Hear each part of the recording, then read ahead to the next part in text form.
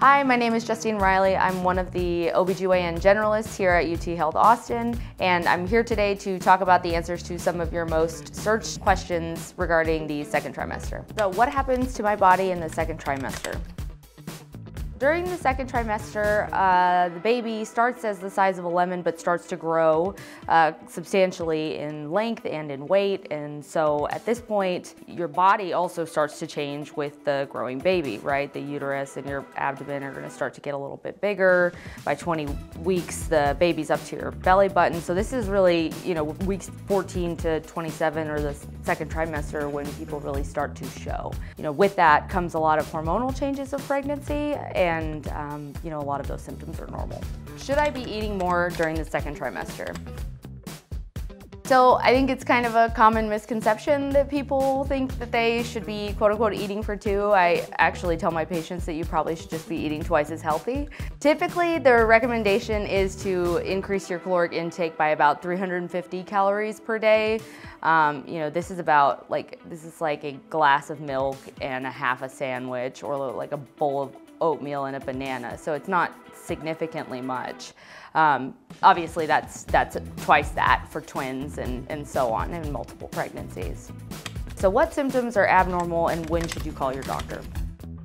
Although we know that the risk of miscarriage decreases pretty significantly after the first trimester, there still is potential to have complications like bleeding, um, cramping, and especially if those things become heavy or severe uh, or if you have leakage of fluid that's either kind of large in volume or really persistent. These are all things that we should know about because those can be signs of complications like preterm labor and other you know, placental abnormalities.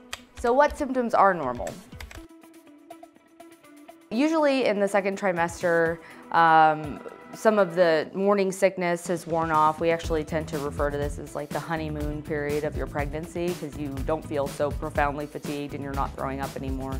And so there are symptoms that are normal in the second trimester and they tend to be related to the hormonal changes like we were talking about. So um, things like acid reflux, constipation, there's skin changes, you know, darkening of the face and sometimes the line in your lower abdomen. So probably increased vaginal discharge, increased sex drive, um, and there are a few other things that can happen, but they're mostly pretty mild. However, they can be bothersome, so of course let us know. Um, there's lots of medications that are safe to, to treat all of these things. Are there specific screening tests or genetic testing that you should have in your second trimester? Commonly in the second trimester, we're going to order what's called the anatomy scan. Um, this is an ultrasound that looks in depth at the parts of the baby, just making sure that there are no anomalies. Um, this in combination with some of the blood work that we do in the first trimester usually is going to tell us a lot about whether the baby has Down syndrome or other anomalies.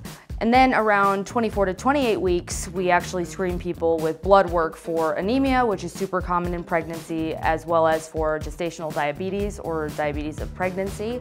Um, and then you potentially could have follow-up testing depending on the results of all the screening that we, that we do, including the scan and the blood work.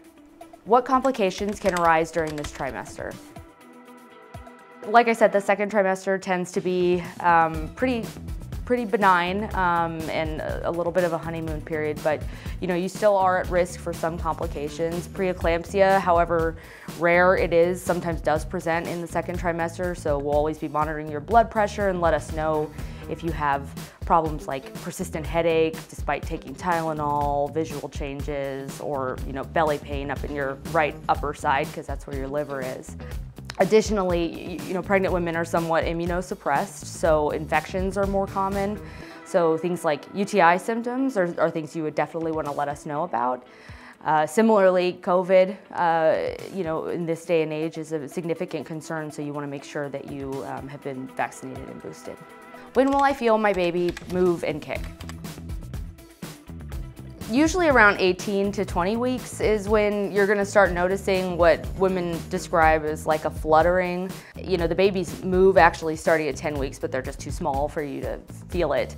Typically women who've been pregnant before will feel it kind of sooner, but you know, I don't really expect anyone to feel it until 20 weeks or so. and then it's not really reliable as a marker of fetal well-being until later in the pregnancy. As far as, you know, your partner or anybody else being able to feel, I would say you know, usually around more like 24 weeks and later. Um, but, you know, it's always an exciting experience for sure. When should I start counting fetal kicks? Around 26 to 28 weeks, the movements of the baby become kind of a reliable marker of well-being. Uh, depending on how high risk your pregnancy is, you may get told to do it more or less often. It's also really helpful for women to know that you know this is something that you can do, uh, counting fetal movements whenever you know you're wondering whether the baby's moving normally. Typically, you want to get 10 movements in two hours, um, but just talk to your doctor and we'll be able to let you know how often you should be doing this, if at all. When may I learn the sex of my baby?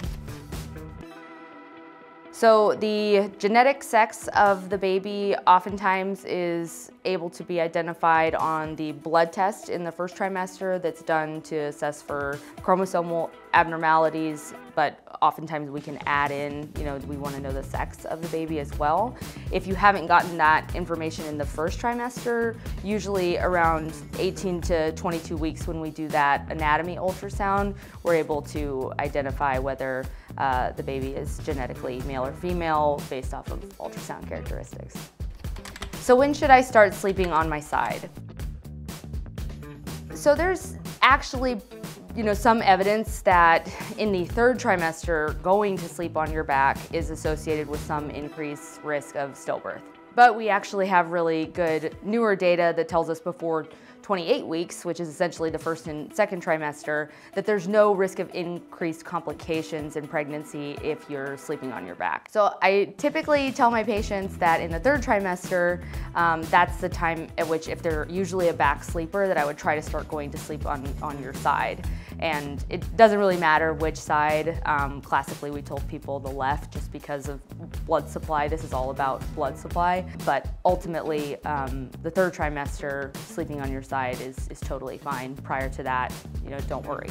I also wouldn't worry if you wake up on your back anyway. Just, again, if you're in the third trimester, flip to one of your sides. So I hope I've answered your questions about the second trimester. Keep in mind that every patient is different and you want to talk to your own OBGYN about your specific case, uh, especially if you have any high risk conditions. Thanks again for joining us today and stay tuned for the third trimester video.